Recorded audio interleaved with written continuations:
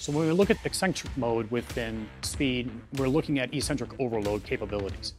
And what a lot of people don't realize is that, again, we are limited to the load that we can use when we use dumbbells or cables by what we can bring it up, but we're also actually missing that we're actually could be 100, almost 150% stronger on the eccentric, the lowering phase of the weight work that you're using and, and, and applying to whatever the movement is. So by now, what we can actually do is Speede allows us to provide that eccentric overload in a safe manner where we can create tremendous muscle gain in from hypertrophy to strength specifically. But one of the most important things that people don't realize is that the eccentric training is the number one way to reduce the risk of injury. When we look at eccentric movements in the physical therapy settings, a lot of the times they're, they're, they should be applied more often.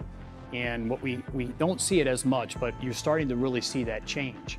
In therapy work, the number one reason it takes so long for people to get back to their everyday life or if they're an athlete is simply the strength. So if they have surgery, then we have to turn around and look at how long it takes to recover, and then we have to start bringing in that strength protocol. The eccentric capabilities accelerate the ability to get back even faster.